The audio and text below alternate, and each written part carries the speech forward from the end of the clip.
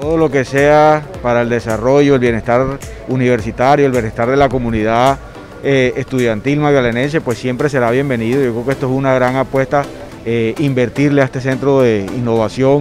Yo creo que eso motivará a los estudiantes a seguir haciendo desarrollos, emprendimientos que van a redundar pues en más beneficio para todos. Bueno, hoy es un día histórico para la Universidad del Magdalena y muy en especial para la Facultad de Ciencias Empresariales y Económicas, la Facultad de Ingeniería, la Facultad de Educación, la cual hoy en este espacio se vuelve un laboratorio de enseñanza, un laboratorio de aprendizaje. Es un orgullo y es algo que, dignifica la educación del Magdalena y el del territorio.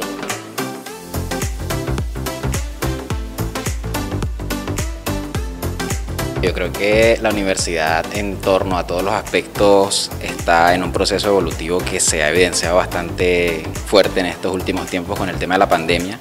Y el hecho de que el CETEP, que es quien lleva el atlas de este cambio hacia la tecnología, tenga un espacio más agradable es un avance bastante grande para, la universidad como tal en este, en este aspecto precisamente de las nuevas tecnologías en la educación. Básicamente como, como trabajador pues está uno más cómodo haciendo sus actividades y también mejora el servicio que uno le brinda a todos los autores estábamos en un recinto pequeño, la atención no era la misma y ya en este momento todo estaba el equipo dividido en, durante, en toda la universidad, entonces ahora vamos a poder estar juntos y, y brindar un mejor servicio pues, a toda la comunidad universitaria y externa.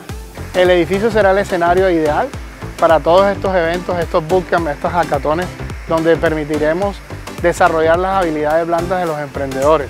También será el espacio ideal para que los profesores traigan a sus estudiantes a probar sus productos, a validar sus teorías, a validar sus hipótesis. Con este edificio terminamos de completar lo que se ha visionado como una universidad de tercera generación y con la consolidación de este espacio que será el, Parque Tecnológico de la Universidad del Magdalena. Esto es una realidad que eh, una ciudad destino turístico internacional está necesitando que se forme la gente adecuadamente. Pero esto no es solo, no es solo en el tema gastronómico. Aquí también tenemos oportunidades en otra serie de, actores, como el Aula 10, en donde la tecnología es lo que predomina, el emprendimiento, la innovación.